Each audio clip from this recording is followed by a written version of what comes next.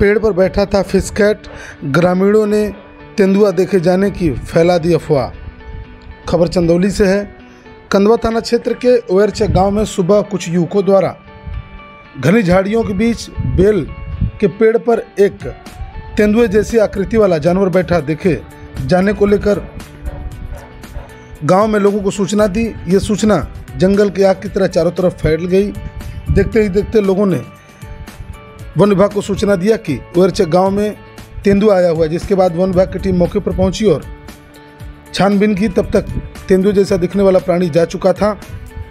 इस दौरान deputy ranger Chandauli Chhavinath Tripathi ने इसकी सूचना डीएफओ को दी। कुछ युवकों ने तेंदुए जैसे आकृति वाले जानवर का फ़ोटो भी खींच रखा था। फ़ोटो देखने के बाद डीएफओ रणवीर मिश्रा ने इसकी पुष्टि की कि यह फिशिंग कैट है, जो इंसानों को नुकसान नहीं पहुंचाता है।